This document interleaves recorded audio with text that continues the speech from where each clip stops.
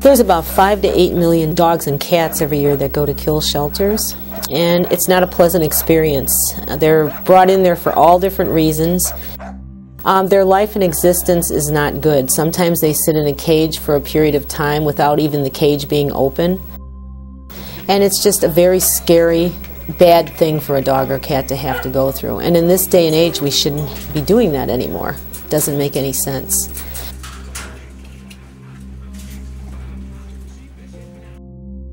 I've been working with dogs for about 40 years and saving dogs for about 35 years, and I think I've saved over 5,000 dogs. We at Famous Fido Rescue and Adoption Alliance save dogs that are in the euthanasia room.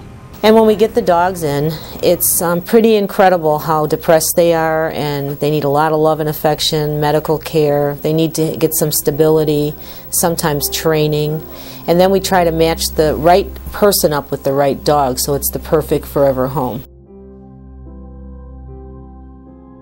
Over the summer, we've placed about 65 dogs into great families, perfect matched families for these individual dogs. And I'm very proud of that because I just don't find dogs homes. I find the dogs a home that fit with the person and the dog, that I know that they're going to be a forever home and they're not going to be getting rid of again. This year, we're going to try to save about 250 dogs' lives.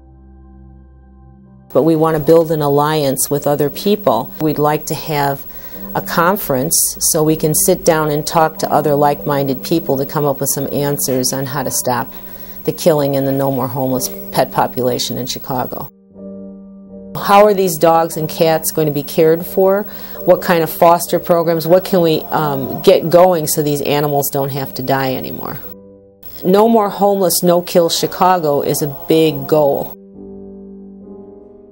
We can really use your donations for helping our individual animals that we're saving from kill shelters in Chicago and Illinois and helping build our alliance so we can help other groups take care of some of their dogs and their needs because there's a lot of dogs that are being unattended because people don't have the money.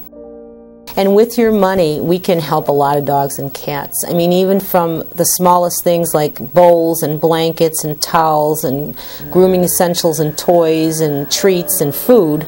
But then some of them have medical problems from arthritis to um, cherry eye to ear infections to whatever their medical needs might be. Um, so it can cost per month $400 a dog.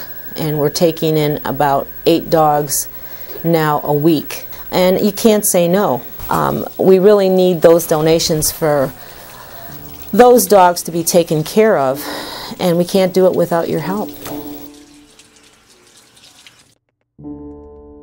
They're special, special individual souls.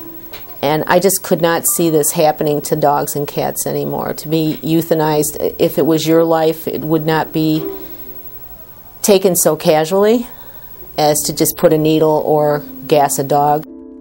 So that's what I'm looking for people who will donate, people who will get involved. Everyone says, What can I do? I don't want to see it, I don't want to look at it.